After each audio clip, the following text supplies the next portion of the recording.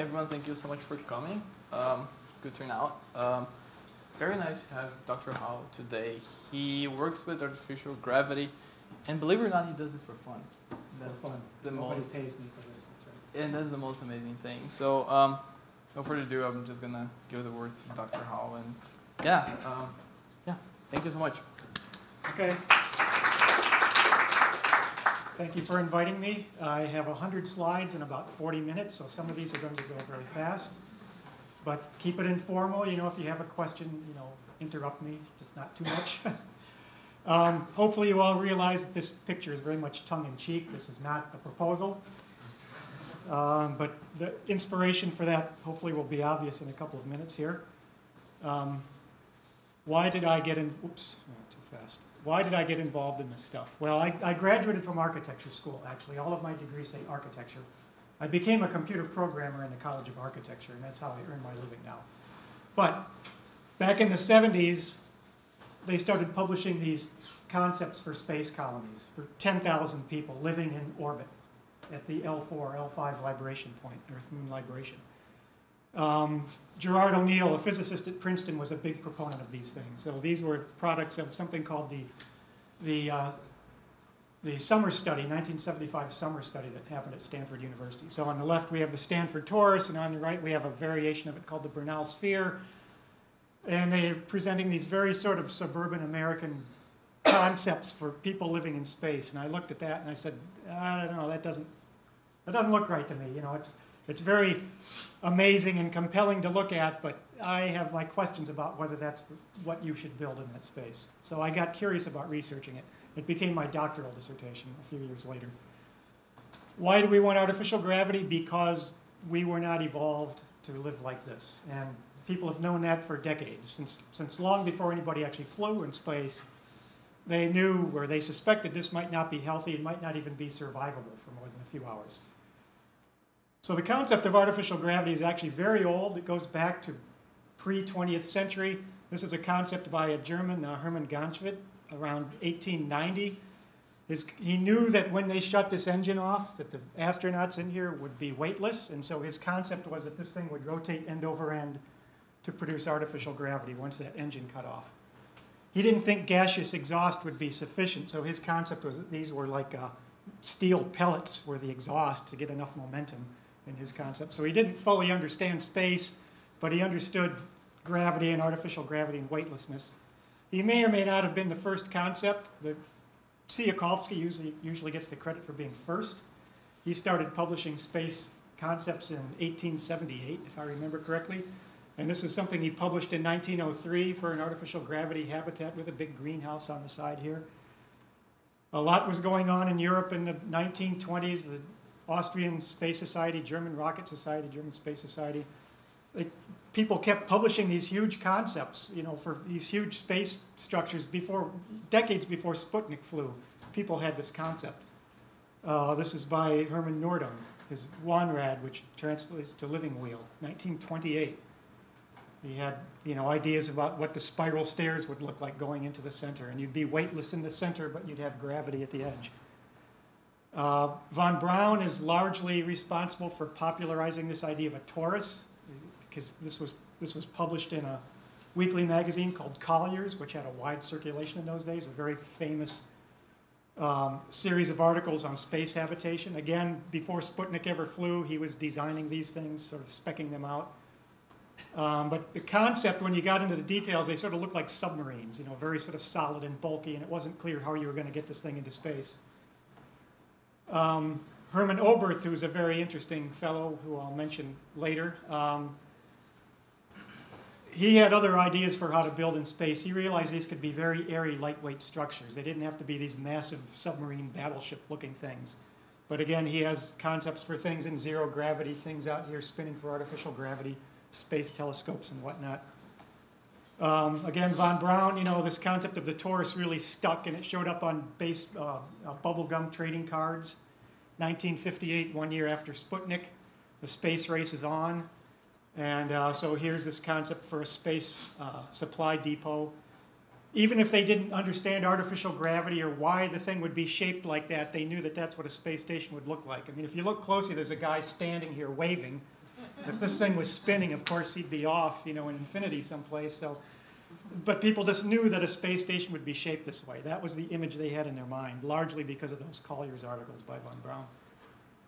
Um, this is now uh, very soon to um, blanking out uh, the Russian cosmonaut Yuri Gagarin. We're almost up to Gagarin, and they're getting serious about designing space stations.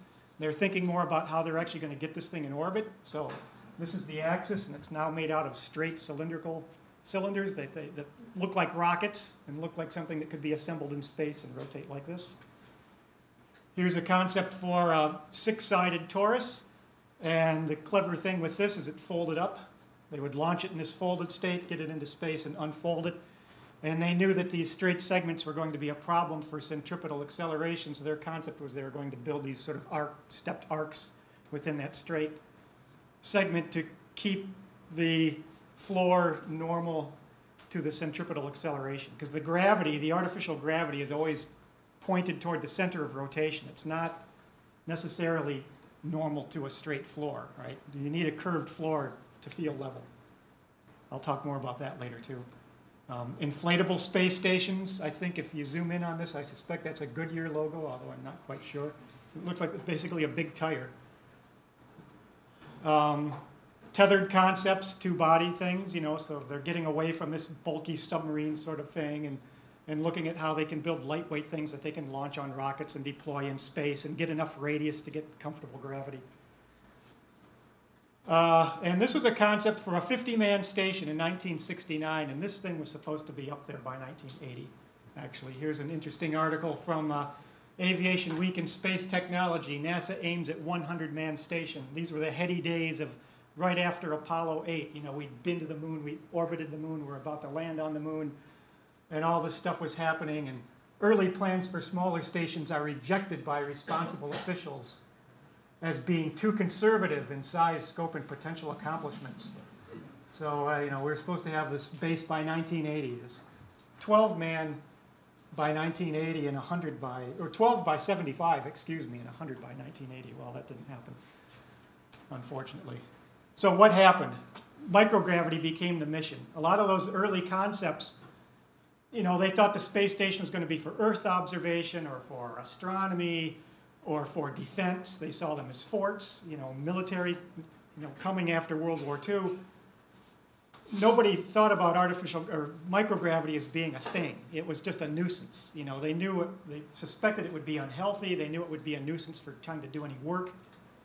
And so nobody really thought about going there for microgravity, but it sort of happened as manned missions got longer and longer. They realized, okay, we can survive for a few hours, we can survive for a few days, we can survive for a few weeks months, and on and on it went. And they thought, well, microgravity is actually kind of interesting. So that's what happened with space stations. The Salyuts from 1971 to 1991. So this is not what anybody thought a space station was going to look like, you know, 50 years earlier. Skylab, Mir, you know, they all look sort of similar, all clearly, you know, not built for artificial gravity. They're built for microgravity. And artificial gravity would mess up the mission, right? They're after that microgravity. They're after these, you know, doing crystals and pharma pharmacological stuff. And, and they don't want gravity interfering with things. They don't even want the vibration of people bouncing around in there. International Space Station. So, two things have happened with our experience in weightlessness. Um, First of all, we found out it is survivable. And second of all, we found out how unhealthy it really is. I mean, people only had a vague idea of what would happen in microgravity. And now, after decades of doing this, we have a pretty good idea. And there's a real laundry list of things that go wrong, beginning with fluid redistribution. And it's sort of a domino effect. It's like a, like a cascade failure of things that go wrong with the human body when this fluid moves out of your feet and legs and up into your chest all these things. You lose fluid, you lose electrolytes. Um, your heart during the first 24 hours expands, and then you lose fluid and it shrinks. You lose red blood cells. Interocular, and we keep discovering new things like the interocular hypertension that, that you know is damaging eyes after after we didn't know that for decades, and now just in the past few years they've discovered that. Muscle atrophy, bone demineralization, hypercalcemia. So if you try to fix bones by adding calcium to the diet, you're increasing their chance of getting kidney stones. I mean, the problem is the bones aren't holding on to the minerals they have. And putting more minerals in the blood isn't necessarily going to make things better. It might make things worse. Uh, immune suppression, cell membrane thickening, you know, on and on it goes. Um, you lose your sense of smell because your head gets stuffy. You can't smell or taste food anymore. Uh, flatulence, so maybe it's a good thing you can't smell anymore. Um, postural changes, coordination changes, lots and lots of stuff. And so if we're going to go into space for a long time, if we're going to go there to live, we need to do something about all this stuff. So, back to the future. Um, I hope you're all somewhat familiar with the movie 2001 Space Odyssey. I hope everybody's seen that movie. If you haven't, see it. Um, again, this was like, it came out like weeks or months after Apollo 8 orbited the moon, and we were going to do all these things were going to happen by, you know, 2001. We were going to have these things. This is one of the most realistic depictions of artificial gravity I've ever seen on film. It's a very weird movie. It's very strange at the beginning and very strange at the end, but the middle part is kind of realistic. So. Um, this is a, actually an architectural um, concept. This Paolo Soleri is well known among the architectural community of doing sort of conceptual things. And it's interesting that this was before the Stanford Torus. You might think, well, this was inspired by O'Neill, but it's actually several years before O'Neill started publishing stuff.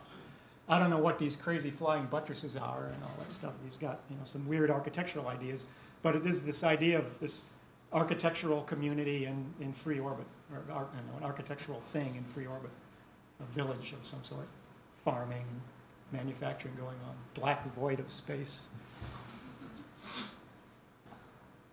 So, um, the Stanford Torus, as I mentioned, 1975, O'Neill, Gerard O'Neill really popularized this idea. I mean, people knew about it earlier, but O'Neill sort of repopularized it and really sort of brought it into respectability by getting NASA. He, you know, he published his first paper that he sent to Physics Today was rejected, actually.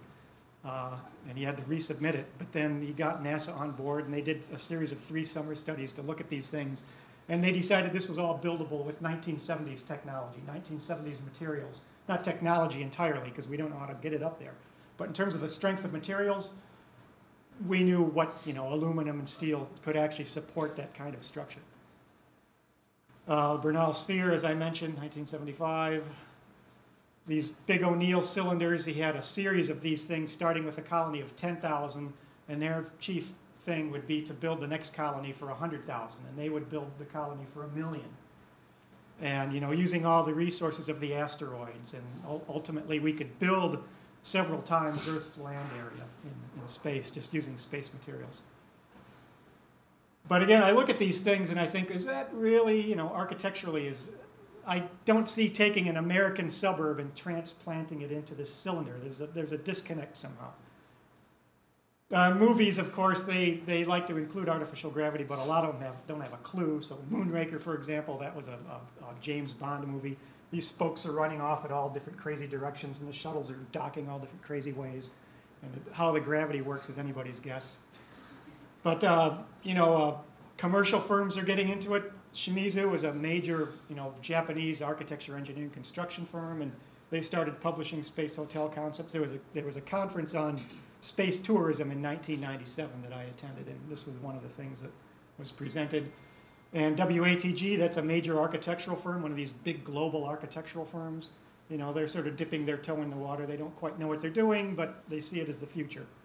They, they, do resort architecture. That's why they're interested in space resorts. Armageddon, one of the most worst movies I ever saw.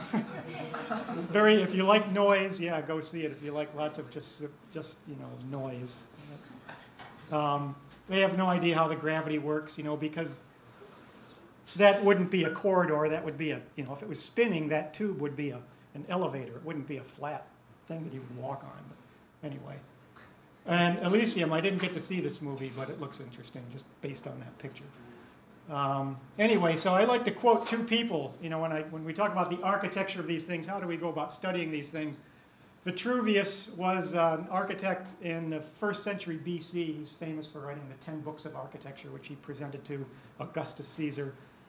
And one of his things that he said was if our designs for private houses are to be correct, we must at the outset take note of the countries and climates in which they are built. That was true 2,000 years ago, and it's true today. And Oberth, who I mentioned previously, it seemed necessary to make this point to enable me to deal with the objection that people of this kind would never be found on the earth, but only in the mind of a moonstruck individual, one third mentally deranged by fantasies of space travel, and two thirds lost to realities in a maze of mathematics. Well, there is some math. We need to know some math. It's not too terrible. Uh, these are two very important equations this formula for centripetal acceleration and Coriolis acceleration. And it's important to know where these things come from. This is not a case of observing something rotating and taking measurements and finding a formula that sort of fits what we measured. These are purely mathematical derivations. If you take, if you write the formula for the inertial position of a particle in a rotating frame of reference and take the second derivative with respect to time, right? Acceleration, that's what comes out. It's strictly a mathematical, you know, taking two derivatives of the position of a rotating particle in, in inertial space. And if that particle is moving in that rotating reference, then we get a second term, which is the Coriolis acceleration. But the, there's no mystery about where these come from. These are not some kind of mysterious force that don't fit, you know, gravity, strong nuclear, weak nuclear, electromagnetic. It's not some weird fifth or sixth force that you rotate something and this mysterious centrifugal force arises from the ether. No, it doesn't happen. Um, it's strictly a mathematical derivation. And the ratio of Coriolis to centripetal is an interesting thing too. It turns out to be twice the ratio of the relative velocity to the tangential velocity, which will show up again later. So um, NASA got serious about this in the 60s. They actually built some uh, some rotating space station simulators, and hopefully I can switch here to a nice, where's my cursor? Oops, there's my cursor. I want to get, there it is. There we go. Okay, so um, there's a nice thing on YouTube.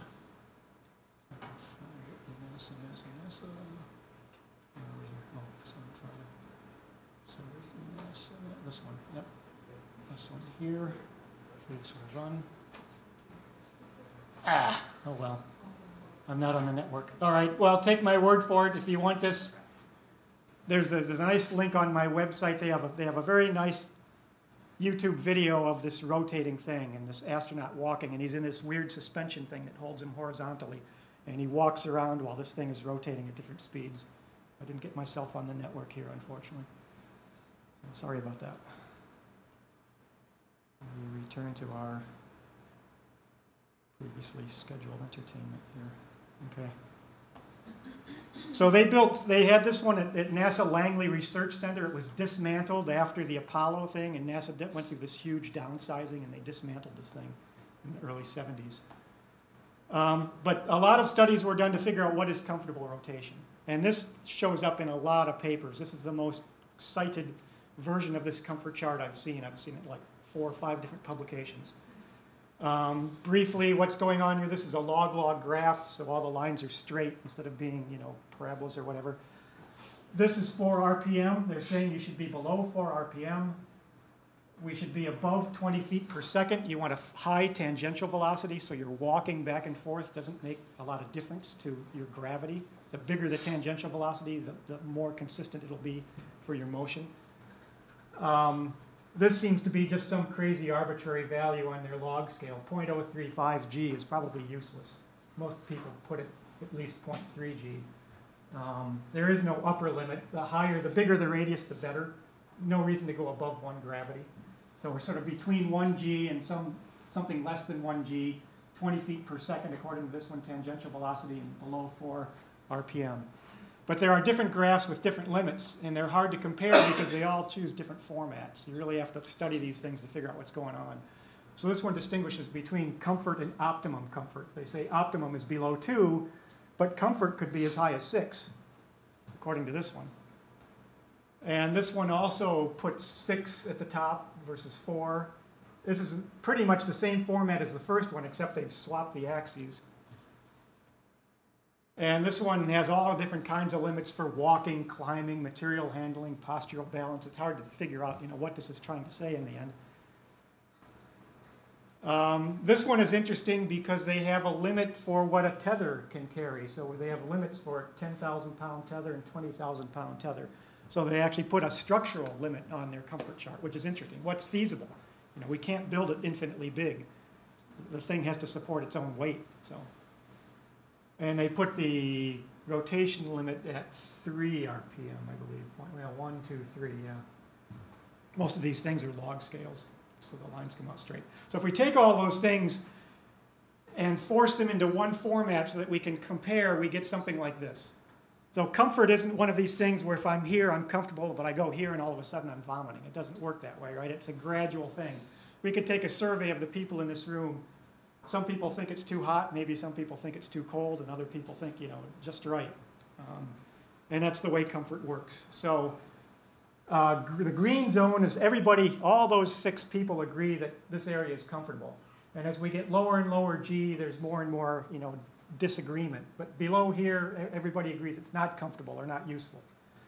The rotation rate, everybody agrees that below 2 RPM is fine. 3, most people agree. As it goes higher and higher, there's less and less agreement. Until above 6, everybody says, well, that's too high, too fast. People can't adapt, or they can't adapt easily.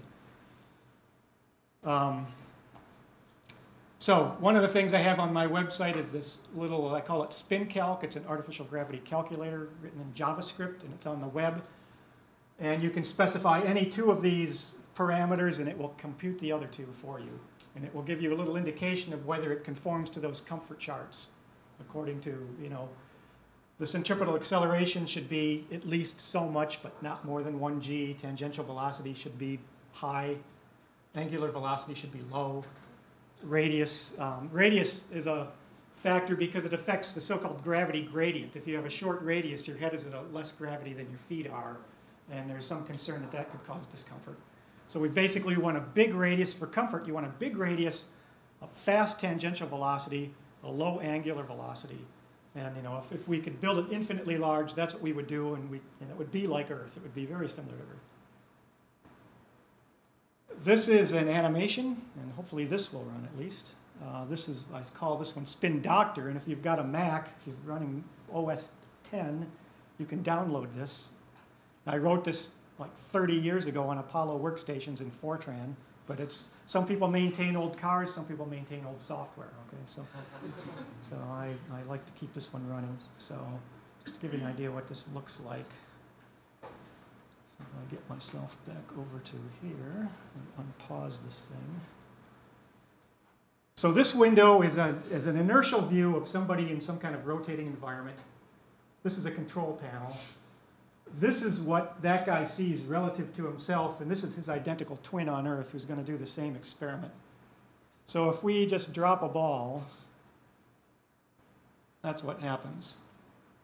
So this is, we know this is outside the comfort zone. This is like a, you know, almost 10 RPM, 9.5 RPM for 1G, very small radius, very high angular velocity. The thing to notice is that the particles are moving in straight lines, right? You let go of the particle, there's no magic centrifugal force that pushes it, or there's no Coriolis force that pushes it around. It's just momentum. So this deviation here, that's not being caused by any kind of Coriolis force. That is an illusion. It's the, it's the observer that's rotating, not the path of the ball. And we can do interesting things here. We can, we can throw the ball and get interesting loop-de-loops. If I drag that thing down and drag a little vector here. It's interesting if you go sort of against the rotation, you can get really wild sorts of behavior. And so uh, it gives you an idea why that might not be comfortable, right? It's not behaving like Earth gravity. And the point I'm always trying to make is we have to, as designers, we have to be aware of this thing. You cannot approach the design of an artificial gravity habitat as if it's gravity. It's Earth, gravity, okay, Earth, design it like Earth. No, cannot do that. I am a vocal opponent of that whole idea. So let's see, let me get back to here Get back to my, oops, slides. Okay, so here's a diagram of what's going on. Here's the guy, he's holding a particle two meters high. He lets go of it. There's no force, it's just momentum. It travels in a straight line until it hits the floor again. There is no centrifugal force pushing this thing out to the edge. It's a myth. There's no Coriolis force that's bending it. It's a myth. It doesn't exist. If he continued holding on to the particle, it would travel this arc S. But since he let go of it, it travels a straight line, that same distance, but on a, on a chord. Right? So the time that it took the particle to go here, he rotated that far. And so that's why the particle is landing off to the side. Right? It's just trigonometry. And so that's what it looks like. And that curvature is dependent on the ratio of the height to the radius. It doesn't matter how fast it's spinning. It doesn't matter how much gravity it is. It's strictly the geometry, the ratio of the height to the particle versus the height to the, to the center point. And the bigger the ratio is, the more it deviates. The smaller the ratio, the straighter it is. This is what happens if we launch a particle from the floor. So it's got a tangential velocity, and let's say we give it some impulse straight up off the floor. The particle's cutting a chord through there. Um,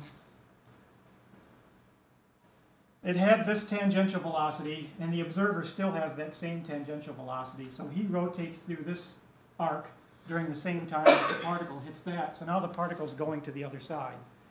It's going to land on what I would say is the east versus the west. And here, the shape of the curve is related to this ratio of v over v.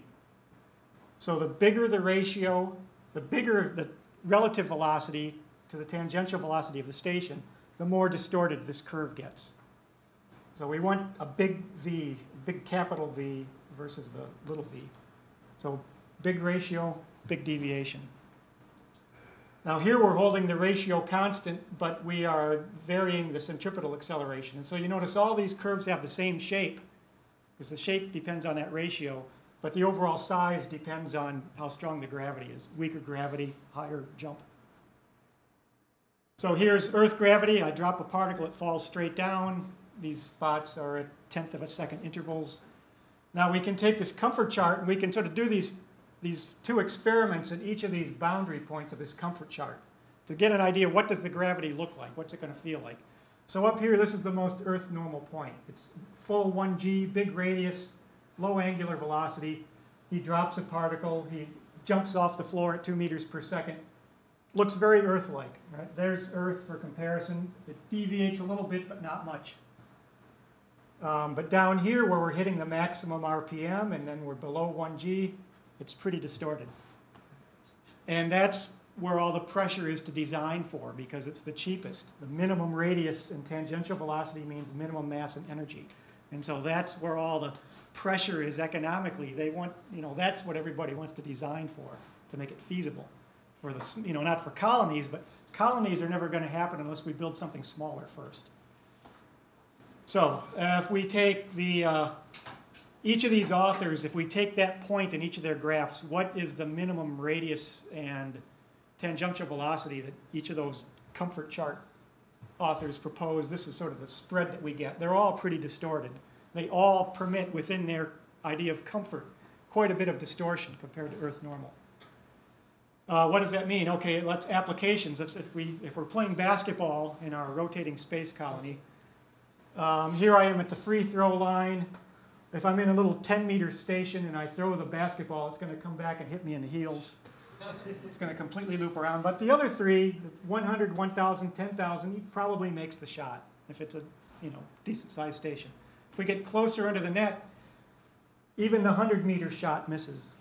And even at a 1,000 meter radius, the centroid of that ball misses the, misses the hoop. So he might miss that shot. You know, you can say, well, he's going to jump and stuff it. Well, if he jumps, he's a particle, right? He's doing what the basketball's doing. And he's a lumpy, sort of segmented particle. But once he's in the air, you know, you know, gravity or you know, momentum takes over. So this is what happens if you walk, if you try to walk on a flat floor or a straight segment in a rotating environment. So it's rotating this way. We have the centripetal acceleration then we have this Coriolis component, which is always perpendicular to your relative motion. So if I'm walking this way and it's rotating this way, there's a Coriolis acceleration that's always perpendicular to the floor. It's perpendicular to my travel. The, the formula is 2 omega cross v, 2 omega being the the angular velocity, and v, the relative linear velocity. So what that does essentially is it, it all the, all the acceleration vectors converge on a point here above where the actual center of rotation is. And if he reverses direction and walks the other way, the Coriolis acceleration reverses, and so that convergent point comes down. And so if we look at that relative, you know, what does he see in his field? Because for him, this is vertical, and that's horizontal. So this is what he feels. And this curve turns out to be a catenary. Turns out to be, if you take a wire and let it hang by its own weight, you get that catenary curve, you know, uh, hyperbolic cosine of that math, you know, good math. Um, cosh, right? Omega squared cosh. So what he sees is this straight segment, but what he feels is it's like he's climbing a hill and it's only level in the middle. And as he gets to the other end, it, you know, he goes downhill again because those acceleration vectors are converging on that point.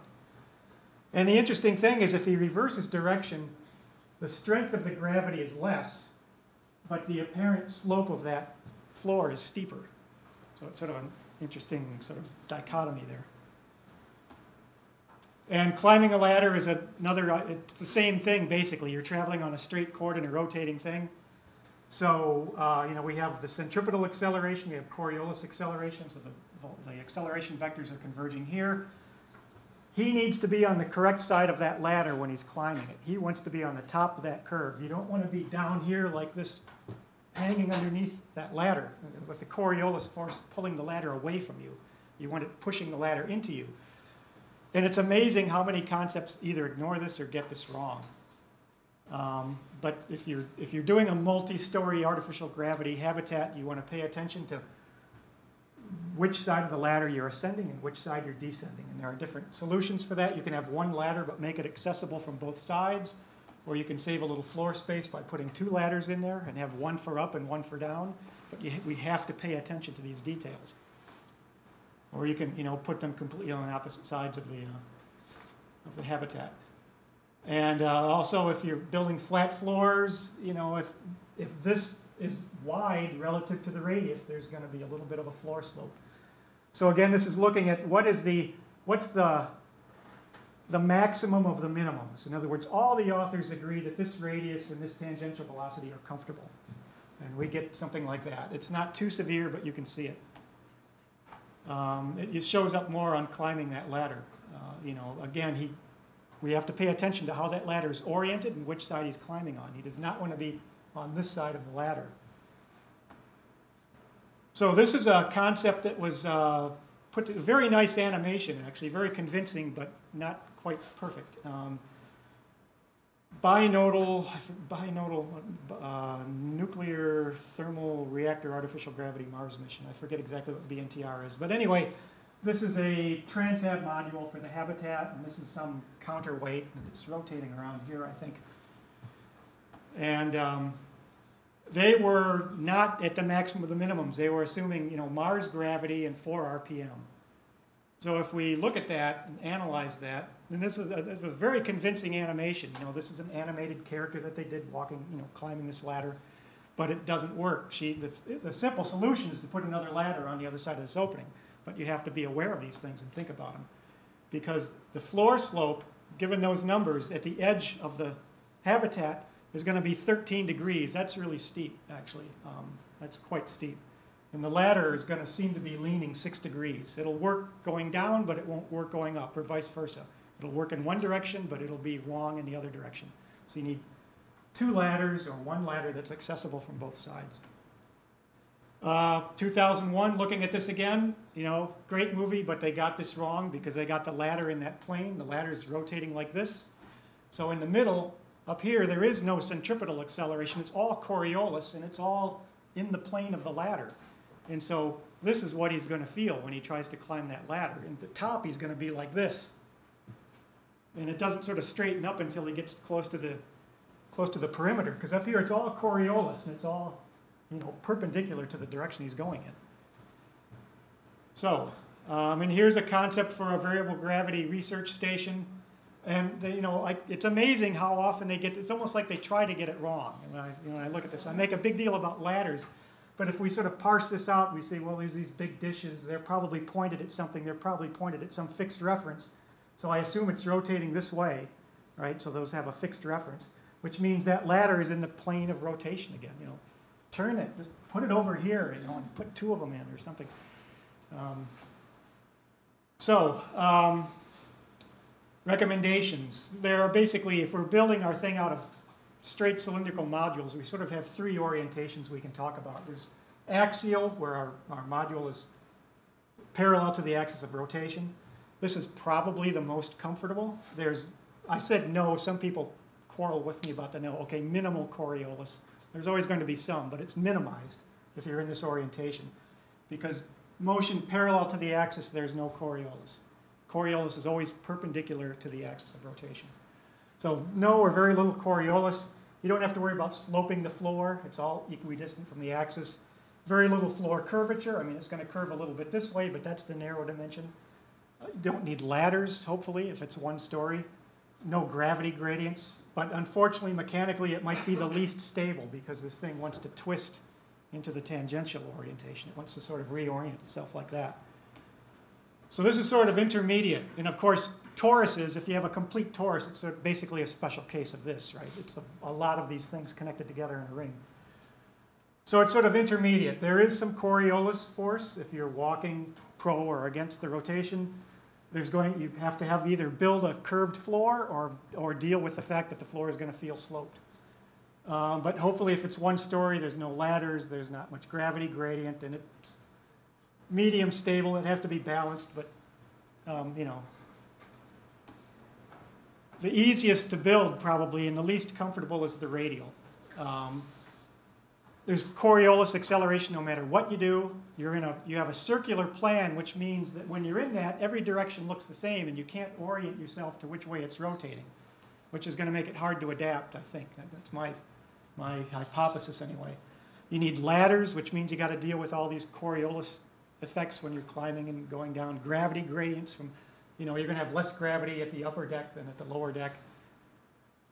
Um, but there's all these trade-offs. You know, what can we afford to build? What and versus what would we like to build? And there's always compromises. But you have to be aware of what the compromises are.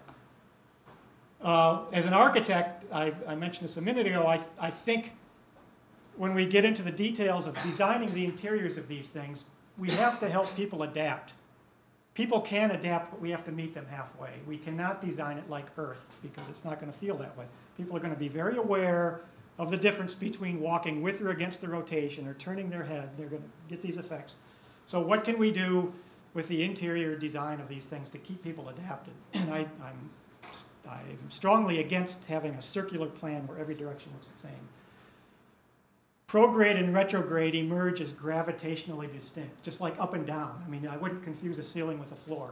Well, in rotating environments, especially at small radii, we cannot confuse prograde and retrograde. Those are gravitationally distinct. And I think they have to be marked somehow. They have, people have to know when they look at it. If we were on a rotating environment now and you're sitting in your chairs, you feel fine. If you're not moving, you don't notice it. But as soon as you get up, sit down, turn your head, you're going to feel these weird effects that are you know, pushing you out of the seat or pulling you back into it or whatever. And so if, if we can do something visually to keep people oriented, they can adapt. Um, and so this was sort of an, an idea that I threw out for lack of anything better. But the first one here, this is a, you know, a room without any differentiation, just a windowless room on Earth. All the walls are the same. Who cares? North, south, east, west doesn't make any difference. And uh, if we wanted to somehow change that for artificial gravity, what could we do? We might play with the shape of the lighting grid. We can play with colors and shapes and lots of stuff, lots of visual cues to keep people oriented. You don't have to be obnoxious about it, but something that's consistent and noticeable and just, just beyond, um, you know, subtle but not too subtle to keep people oriented. Um, so there are trade-offs. Uh, we want to decrease the radius, velocity, mass, and energy. That's where economics is pushing. But that's going to be, that's going to require an increase in research. What can people adapt to? Um, testing, uh, lots of design reviews, more selectivity on the crew. You might have a very competent geologist that you'd like to send to Mars, but he gets nauseous, below, you know, above 3 RPM. You know, so there's all these compromises, training and acclimatization. If we could build it huge, we would. That would be the best thing. Um, the habitat pressure shell does not shield the interior from physics and mechanical dynamics. What I see in a lot of these concepts is, you know, mechanical engineers wouldn't make these mistakes. They understand Coriolis forces. They understand, um, you know, Euler's, Euler's equations of motion and all. But somehow when it gets to the interior design, they take this hole that they've designed and they throw it over the wall. And interior designers on the other side catch it. They don't know any of this stuff. And so they just do, oh, artificial gravity, okay, let's make it pretty. And, and uh, you know, but there has to be more communication between these groups. Because all of those things that affect the overall structure affect everything inside the structure, including the people, including the crew. So curved floors that are wide relative to the rotation radius. I reject circular plans with no obvious orientation to the direction of rotation. Use color and pattern to provide visual orientation to distinguish east from west. Uh, avoid multi-story designs with all the gravity gradients and ladders and all the problems that they have. If you have to have ladders, place them coplanar to the axis of rotation. So the axis of rotation should be in the ladder. So the ladder is rotating like this, not like that. You don't want your ladder rotating this way. You want it rotating this way. And provide either separate ladders or two-sided access for ascending and descending. Uh, question all assumptions about gravity, which basically means question everything. and uh, here's URLs for these, this calculator and uh, the, the, animation that I showed. Um, I can give those to you later if you want them. Uh, so going back to these things, when we look at this, we have to understand this is a metaphor. This is not a construction specification. This made sense in the 70s because we want to communicate there's houses in space. If I draw some bizarre thing that nobody recognizes as a house, it ain't going to sell right? So we know what a house is. We look at it, house, okay, I know what it does, I know how big it is. It tells a story, but it is not a construction specification. This is not what we're going to build. And finally, uh, a couple of quotes from my favorite authors here again. Such things do not exist and cannot exist and never have existed. Yet when people see these frauds, they find no fault with them, but on the contrary are delighted and do not care whether any of them can exist or not. In Oberth. Other laws prevail in space, and there is no reason why the old architectural rules should be followed. And that's it.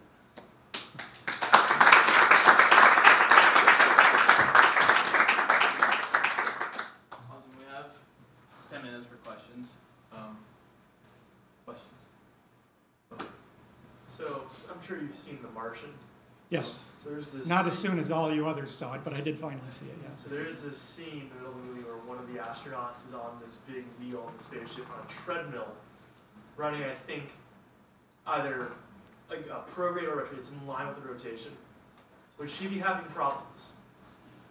Well, since on a treadmill you're not really moving that much, so it probably doesn't matter a whole lot how the treadmill is oriented, but I would tend to probably orient it you know, with the rotation. So if there was any back and forth, um, and I'd probably orient it so that you tended to run with the rotation. So if you, anything, you would gain weight, you wouldn't lose weight. If you lose weight, you know, you can actually lose contact with the floor. You lose friction, and bad things can happen. I'm glad you mentioned the Martian, Martian, because what stuck out in my mind is this. It happened a couple of times in the movie. If you were paying close attention, so they had that zero gravity axis, and astronauts were floating through there, right? They, just like on ISS.